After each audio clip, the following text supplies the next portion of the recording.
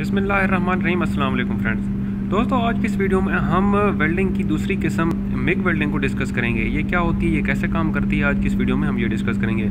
तो दोस्तों, मेरी इस वीडियो को शुरू से लेकर आखिर तक ज़रूर देखिए। चलिए फ्रेंड शुरू करते हैं। देखिए फ्रेंड जैसा कि नाम से ज़ाहिर है, हम इसको मिग वेल्डिंग बोलते हैं। मिग वेल्डिंग क्यों बोलते हैं? क्योंकि इसका मतलब होता है मेटल इनर्ट गैस वेल्डिंग। यानी कि जिस वेल्डिंग को, जिस तरह की हम वेल्डिंग करते हैं, उसमें मेटल और इनर्ट गैस को यूज़ करके हम वेल्डिंग करते हैं। जब हम इसकी डेफिनेशन को देखते हैं, दोस्तों, हम कह सकते हैं कि क्या होता है कि arc is maintain between consumable electrode आपको याद होगा, मेरी पिछली वीडियो में मैंने टिक वेल्डिंग को जब डिस्कस किया था तो इसमें हमने नॉन कंज्यूमेबल इलेक्ट्रोड को इलेक्ट्रोड का यूज़ किया था। और यहाँ पे मिग वेल्डिंग में क्या होता है कंज्यूमेबल इलेक्ट्रोड को यूज़ करते हैं और वर्क पीस होता है। वर्क पीस और वर्क पीस के दरमियान हम क्या करते हैं कि आर्क को मेंटेन करते हैं। इलेक्ट्रोड और वर्क पीस के दरमियान हम आर्क को मेंटेन करते हैं in a protective inert gas atmosphere जो हमारे पास गैस एटमॉस्फेयर होता है उसको हम क्या कहते हैं कि इनर्ट गैस यूज़ करते हैं जो जो हमारे पास एज अ फ्लक्स यूज़ होती है। तो ये दोस्तों मिग वेल्डिंग होगी। मिग वेल्डिंग को फर्दर डिस्कस करते हैं जिसके कंपोनेंट देखते हैं। कंपोनेंट में सबसे पहले हमारे पास बेयर इलेक्ट्रोड आ जाता है। बेयर इलेक्ट्रोड को आप कह सकते हैं कि कंज्यूमेबल होता है या कोटेड इलेक्ट्रोड होता है। यहाँ पे भी हम कह सकते हैं कि मेटल इनर्ट गैस जब हम कहते हैं कि तो मेटल का आ, हमारे पास इलेक्ट्रोड होगा कंज्यूमेबल इसी तरह से बेयर इलेक्ट्रोड में कंज्यूमेबल और कोटेड इलेक्ट्रोड होंगे। और दूसरा हमारे पास वर्क पीस होगा जिस पे हम काम कर रहे होंगे। और ऑर्गन गैस सिलेंडर या हमारे पास कोई भी इनर्ट गैस का सिलेंडर होगा, कोई भी इनर्ट गैस होगी जो हम यूज़ करेंगे। और इसके साथ हमारे पास क्या होगी? पावर सप्लाई होगी। ये चार कंपोनेंट मेनली यूज़ होते हैं। तो डायग्राम से समझने की कोशिश करते हैं। ये देखें फ्रेंड्स ये मैंने एक डायग्राम ड्रा कर लिया जिससे मैं आपको समझाने की कोशिश करता हूँ। सबसे पहले आप इस चीज़ को देखें कि ये वाली जो चीज़ आपको नज़र आ रही है, इसको हम वेल्डिंग टॉर्च बोलते हैं।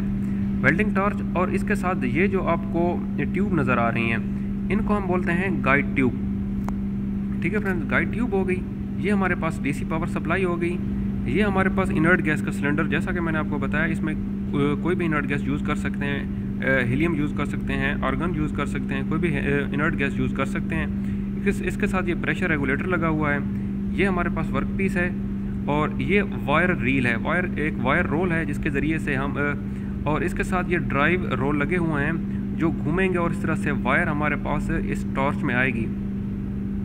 ठीक है दोस्तों? अच्छा मेन डिफरेंस मैं आपको मिग और टिग में बताता चलूँ। एक तो उसमें टिग में हम non consumable electrode junction use करते थे, जबकि मिग में हम कंज्यूमेबल इलेक्ट्रोड को भी मेटल का जो इलेक्ट्रोड होगा, वो यूज़ करेंगे। इसके साथ साथ जो हमारे पास वर्क पीस होगा वर्क पीस को हम क्या करेंगे? कैथोड कैथोड बनाएँगे, यानी कि रिवर्स पोलैरिटी में। जिस तरह मैं आपको बताता चलूँ कि मेरी पिछली वीडियो में ये टिक वेल्डिंग की डायग्राम है, जिस तरह मैंने आपको वीडियो में समझाया था, जो हमारे पास वर्क पीस होगा, उसमें हम पॉजिटिव सप्लाई देते थे। तो ये स्ट्रेट पोलैरिटी के लिए, टिक वेल्डिंग स्ट्रेट पोलैरिटी के लिए, जबकि हमारे पास मिक वेल्डिंग जो होती है, उसमें हम रिवर्स पोलैरिटी यूज़ करते हैं, क्योंकि जो कैथोड होगा, उसमें हम नेगेटिव चार्ज अप्लाई करेंगे, और उसके साथ जो टॉर्च होगी, टॉर्च में हम डीसी पावर सप्लाई करें पावर सप्लाई देंगे। प्रोसेस कुछ इस तरह शुरू होता है दोस्तों, जब हम पावर सप्लाई देते हैं यहाँ से डीसी पावर सप्लाई जो हमारे पास ये वर्क पीस होता है, वो एज अ कैथोड यूज़ करता है, जबकि हमारे पास जो टॉर्च होती है, वो as a anode use use करते हैं।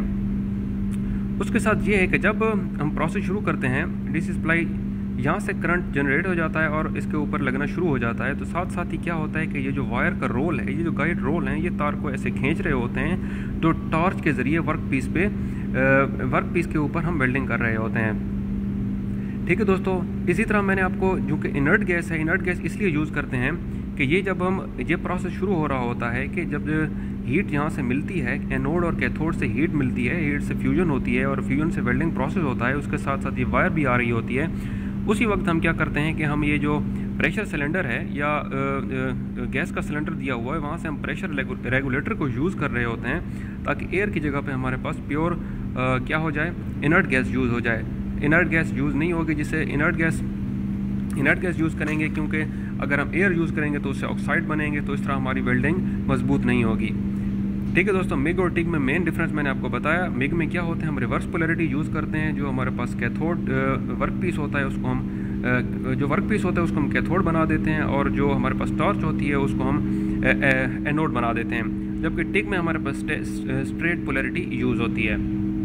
ये मिग और टी का फ़र्क आ गया। उम्मीद करता हूँ दोस्तों कि आपको ये वीडियो अच्छी लगी होगी। इसी तरह की मजीद इन्फॉर्मेटिव वीडियोज़ के लिए आप मेरे चैनल को सब्सक्राइब करें बेल आइकन को प्रेस करें और साथ में ऑल पर क्लिक कीजिए ताकि मेरे वीडियोज़ के लेटेस्ट नोटिफिकेशन आप तक पहुँचते रहें। तो मिलते हैं इंशाल्लाह अगली वीडियो में। तब तक के लिए अल्लाह हाफिज़।